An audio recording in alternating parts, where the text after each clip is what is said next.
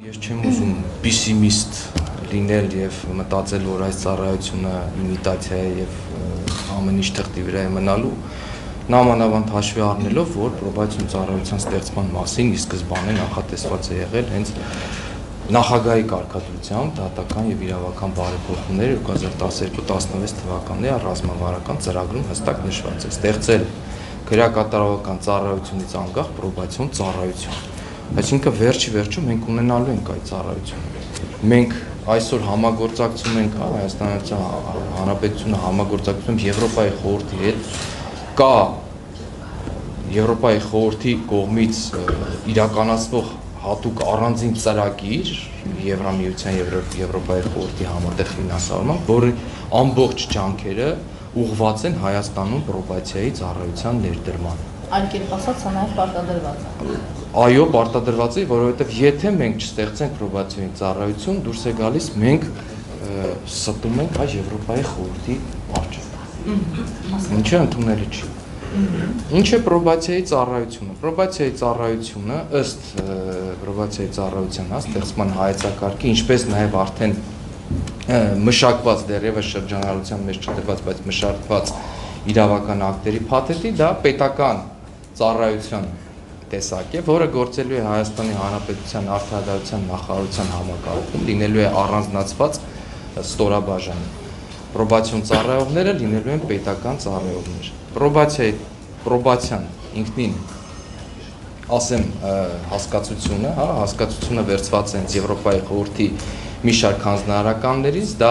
օրենքով նախատեսված եւ հանցագործություն կատարած անձին նկատմամբ նշանակված պատիժներ եւ հարկադրանքի միջոցներն են, որոնք կիրառվելու են հասարակությունում, այսինքն նրանց ազատության մեջ։ Սա հենց պրոբացիայի հասկացությունն է։ Այսինքն ցանկացած հարկադրանք, ցանկացած պատիժ, որը նշանակվում եւ իրականացվում է անձի նկատմամբ, պետք է բացառապես իրագործվի հասարակությունում։ Այս սա է ամբողջ պրոբացիայի գաղափարը։ Պրոբացիայի ծառայության ներդրման հայեցակարգով էլի պիտի հղում անենք երևի միակ իրավական ակտին այս դեպքում պրոբացիայի ծառայության ներդրման հայեցակարգն է։ Եթե խոսենք քրեական օրենսգրքի այսօր էլ թույլատրելի հոդվածներից, որ մարդուն կարող են պայմաններով թողել հասարակությունում, այո դա ունենք, դա պատիժը պայմանականորեն չկիրառելն է կամ պատժի հետաձգման ինստիտուտները, որոնք թերևս իրականացվում են դեռևս 2005 թվականից քրեակատարողական ծառայությունում ստեղծված այլընտրանքային պատիժների կատարման ստորաբաժանումների կողմից երեք տեսակի այլընտրանքային ազատազրկում չենթադրող պատժատեսակների կատարում, վերահսկողության տարբեր ձևերի կատարում Սա թույլատրելի է։ Հիմա ինչքանով է իրականացում, ինչքանով ոչ կդժվարանամ թվեր հիշել, որ կատարում են այդ բաժինները այսօր եւս։ Ինչ կտա պրոբացիայի ծառայությունը, պրոբացիայի ծառայությունը կփորձի երևի թե կարծում եմ մաքսիմալ առավելագույնս լինի երաշխիք այն բանի, որ մարդը, որը շատ վտանգավոր չի հասարակության համար, իր պատիժը կրի հասարակությունում։ Սա պրոբացիայի կարևորագույն առանցքային հարցերից մեկն է, որ պետք չի մարդուն ազատազրկել, նույնիսկ եթե նա կատարել է հանցագործություն, իսկ պրոբացիայի ծառայությունը միայն հանցագործություն կատարած անձանց մասով է մարդ, որը վտանգավոր չէ հասարակության համար, կարիքը չկա, որպեսզի գնա ազատազրկման վայր։ Ավելին, եթե սրան կպցնում ենք նաև վերականգնողական արդարադատության սկզբունքը, այն է փոխհատուցել դուժողին եւ համայնքին պատճառած վնասը, այս դեպքում է, որ մենք ասում ենք վերականգնողական արդարադատությունը առավել ճկուն հակազդում է հանցավորությանը եւ նկատի ենք ունենում, որ շեշտադրվում է անձը, որ կատարել է հանցագործություն եւ անձիկ կամ համայնքը, որոնք դուժել են հանցագործությունը կատարելուց։ Եվ այս իմաստով վերականգնողական արդարադատության բլոկներ իր հերթին ասում է, գիտեք, եթե դուժողին պատճառել եք վնաս հարգելի հանցագործություն կատարած անձ վերականգնիր դա եւ նաեւ այսպես դուժողի թույլ տվությամբ ճակերտավոր դու եւս մնում ես հասարակությունում։ Ինչու՞ որովհետեւ այդ հասարակություն ասածը, համայնք ասածը հանցագործություն կատարած անձի համար առաջին հերթին դժողն է։ Ինչ վերաբերվում է գերբնակեցման խնդրի լուծմանը, սա չորրորդական խնդիրն է որպես արդյունք, որ կարող է լուծվել պրոբացիայի ծառայության ներդրմամբ։ Արդեն այն մարդկանց նկատմամբ, որոնք բանտախցելում են։ Սա ենթադրում եմ, որ ոչ։ Սա կարող է իրավական առումով պարոն Հովանեսյանը շատ ավելի ամբողջական կասի երևի դրա մասին, որովհետև նաև էս այդ համայնքն է իրավական ակտերի նախագծերի, որոնք այսօր արդեն իսկ կատարվել են, բայց դա բանը անցումային դրույթ է, որ ցանկացած օրենքով կարող եք ֆիքսել, որ գիտեք այս օրենքը ուժի մեջ է մտնում այս ինչ ժամանակահատվածից եւ օրինակ մինչեւ 1 տարի ազատազրկում ենթադրող բաժատեսակները ազատազրկումը, որը եղել է անձանց նկատմամբ, այդ անձիկ կարող է դուրս գան հասարակություն։ Բայց այդ այս պահի դրությամբ օրենքները չեն նախատեսված, ոչ։ Ես այդ շատ կարևոր բան եք ասում, ֆիքսենք Պրոբացիայի ծառայությունը ոչ ներման, ոչ համաներման, ոչ պայմանական վաղաժամկետ ազատման ինստիտուտ չէ։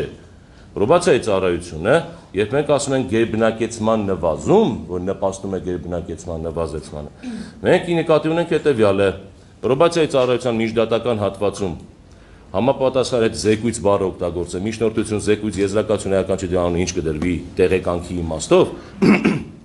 զեկույցների միջոցով ապահովում ես որպեսի մարդը, որի նկատմամբ կարող էր ընտրվել կալանավորումը որպես խափան միջոց, այսօր ելնելով որպես կանոն հանց բանից, հոդվածից ենթադրյալ այլ ոչ թե անձից, ասում այս անձը, որը ենթադրաբար կարող է լինել ոչ վտանգավոր բանի հասարակության համար, կալանավորումը որպես խափան միջոց մի ընտրեք հարգելի դատախազ եւ դատարան որոշման տեսակետից դատարան դատական process-ի մեջ կիրառվող չես թույլ տալիս միտքը հետեւյալն է չես թույլ տալիս կամ սահմանափակում ես մուտքը քրեակատարողական հիմնարկ մարդկանց մյուս կողմից էլ պաճից պայմանական վաղաժամկետ ազատման դեպքում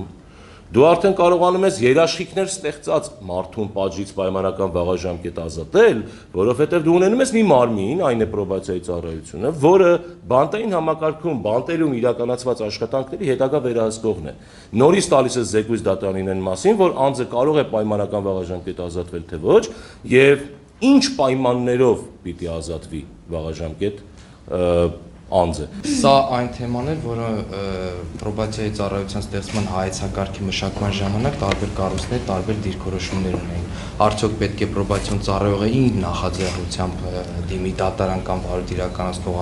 այլ մարմնին, թե դա դիսպոզիտիվ է եւ դատարանը կամ վարույթ իրականացնող այլ մարմինը ինքն է իր հայեցողությամբ դիմում պրոբացիայի ծառայությանը եւ միջնորդում որոշակի զեկույց տրամադրելու։ Վերջնական տարբերակը հայեցակարգի, որը հավանության արժանացավ կառավարության կողմից 2015 թվականի ապրիլի 30-ին, ասում է հետևյալը.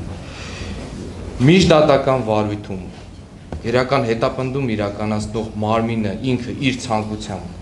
միջնորդում է պրոբացիոն ծառայությանը, ասում է դուր զեկույց անձի վերաբերյալ, որ ես էլ ինքս կողմնորոշվեմ ինչ խափանման միջոց ընտրեմ։ Եվ դա պարտադիր պայման է։ Պարտադիր է պրոբացիայի համար, եթե կա միջնորդությունը։ Սակայն վարույթ իրականացնող մարմինը ինքը իրանով պարտավոր չի ամեն դեպքում դիմելու պրոբացիոն ծառայությանը եւ այդ զեկույցը ստանալու։ Սա կոռուպցիոն ռիսկեր չի առաջացնում։ Այսինքն սա իր հիմնական հա վեճը տարբեր կառույցների արդյոք պետք է պարտադիր զեկույցը տրամադրվի պրոբացիոն ծառայության կողմից, թե վարույթն իրականացնող մարմինը ինքն է նախաձեռնողը եւ ինքն է ընտրում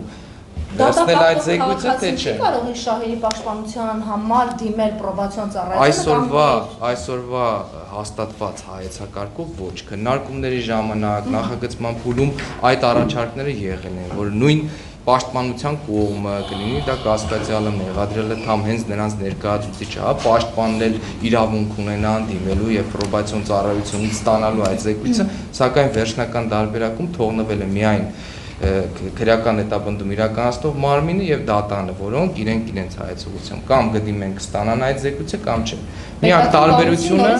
հա, միակ առանձնահատկությունը տալիս որոշելու մարդու ճակատագիրը։ Որոշող չի, որոշող չի ժողովուրդ։ Հենց որոշողը դատարանը։ Չէ, իր կմահաճույքով որոշում դիմել պրոբացիոն ծառայությանը թե Հա, ոչ։ ամբողջ խնդիրը այն է, Դա արդեն վաճառելու բան է այստեղ խնդիրը ինչն է շեշտադրումը ինչի վրա է դրված, թե ինչ իրավական ուժ պետք է ունենա ապրոբացիոն ծառայողի տրված զեկույցը։ Իսկ Վերջի վերջո հաստատվեց այն տարբերակը, որ դա ընդհանրապես խորհրդատվական բնույթ է կրում, ոչ մեկի համար պարտադիր չի, եւ վերջի վերջո դա դատարանը վերջնական որոշում ինքն է կայացնում։ Ավելին ասեմ, պրոբացիոն ծառայողը զեկույց տալուց որևիցե ինչ որ գնահատականներ չի տալու, թե օրինակ անձին նպատակահարմար է այս խափանման միջոցի ընտրությունը կամ այս տեսակ բաժի ընտրությունը, ոչ։ Պրոբացիոն ծառայողը իր զեկույցում ընդամենը անդրադառնալու է կոնկրետ անձին, նրա սոցիալական եւ հա գույքային վիճակին, նրա կապին իր ընտանիքի հետ, ունի թե չունի, բնակության վայրի արկայություն, Հանցատեսակը կապ չունի, օրինակ,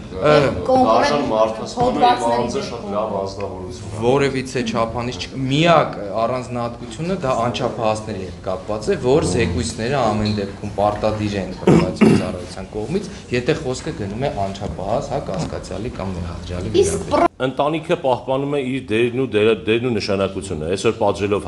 հանցագործություն կատարած անձին ուղարկելով ազատազրկման վայր, մենք ըստ էության ազատազրկման ենք դատապարտում նաև իր ընտանիքի անդամներին։ Ծախսեր, ժամանակ եւ այլ եւ այլ։ Ունենալով պրոբացիայի ծառայություն դու թողնում ես օջախի ընտանիքի պաշտպանությունը հասարակություն։ Երկրորդ, մենք ունենում ենք դուժողին վնասը պատճառելու լավագույն մեխանիզմը։ Երրորդ, որ մենք ունենալու ենք այն ը, դատական համակարգի գեր բան ը, բե- բան անեմ, հա, թեթևացում, այսինքն ծանրաբեռնվածության նվազեցում, մենք ունենալու ենք անձ, որը կարողանում է բանտային ենթամշակույթից դուրս դրանով չներծծված լինելով հանդերձ վերականգնվել որպես այդպեսին հասարակությունում, որովհետև նվազեցնելու ենք այն պրոբացիայի ծառայությունը նվազեցնելու այն որակները, որոնք ենթադրաբար նպաստել են ը, հանցագործություն կատարելուն։ Եվ ամենավերջում, բայց ոչ վերջին ըստ էության, ֆինանսական բավականին խնայողություններ, որոնք պրոբացիայի ծառայությունը ներդնելիս ունենում ես բանտային համակարգի հետ համեմատած ընդամենը։ Որովհետեւ ընդամենը նշում եմ, որովհետեւ դե- դեռ པարզ չի ինչ գումարներ կգան կամ կգնան, բայց այն հաշիվը որ կա, մենք ենթադրենք 10 անգամ ավելի քիչ է պրոբացիոն բանը պրոբացիայի տակ գտնվող դատապարտելին պահելը։ Այս իմաստով նաև բանտում գտնվելու հետ համեմատած ինքը ավելի էժան միջոց է հանդիսանում հարկատուների բեռը թեթևացնելու իմաստով։ Բացասական եւ ռիսկային Բացասական ու ռիսկային այդ պատրանքային հատվածն է, որ ասացի, որ ամենակարևոր հանցավորության աճ կարող է նկատվել դիտարկելով, որ պրոբացիան դեռևս պատիժ չի։ Երկրորդ ռիսկային գործոններից մեկը, որ դիտարկվում է սա, այն թե այդ որ մասնագետներն են, որ պիտի գան ու աշխատեն պրոբացիայի ծառայությունում, սոցիալական աշխատողներ, հոգեբաններ, կրիմինոլոգներ, մենք ունենք այդ քանակությունը, բայց արդյոք ցանկություն կլինի այս ոլորտում աշխատել, թե չէ։ Այս կարևոր հարցերից մեկն է, որպես այդպեսի։ Ռիսկային են բոլոր դերակատարների կամքը պրոբացիայի ծառայությունից օգտվելու։ Դերակատարներ, դատարան, դատախազություն, քննչական կոմիտե, բանտային համակարգ, ոստիկանությունն էլ մեզ նվեր։ Այս 5 բանի քրեական արդարադատության դերակատարները որոշում կայացնելու փուլում պիտի դիմեն ինչ որ մասով պրոբացիայի ծառայությանը։ Ռիսկ. Կդիմեն թե չեն դիմի, որովհետև պրոբացիայի ծառայություն չի գործում առանց իրեն դիմելու։ Իրեն պիտի դիմես, որ ինքը սկսի գործել։ Նաև պարտադիր պայման չեք դրել, որ ինքը գործի, չէ՞։ Հա, պարտադիր պայման պարտադիր պայման անչափահասների համար հայեցակարգով ֆիքսած է։ Չափահասների համար դե դժվարանում ենք ասել, որովհետև պարտադիր որևէ երկիր չունի, չկա պարտադիր կամ մշակույթ, որը ձևավորվում է ու դու ուզում ես այդ զեկույցը, որովհետև իրապես չես կարող իրավաբանի վրա դնել անձի գնահատման ֆունկցիա, այսօր մեր քննիչները տարապում են, որ เป զի կարողանան մի քիչ անձ մեկնաբանել, որ เป զի վերջում դատարանը դա դատախազի կողմից ներկայացվող մեղադրականը կարողանա բան անել, ը, քննել այս երկու կողմին եւ վերջում որոշում կայացնել։